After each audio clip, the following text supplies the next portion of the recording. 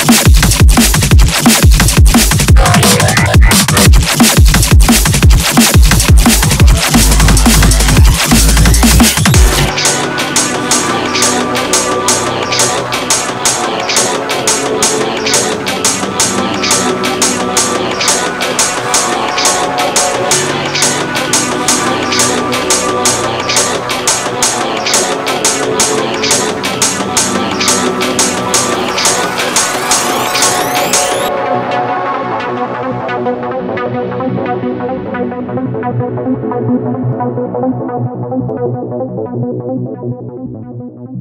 you.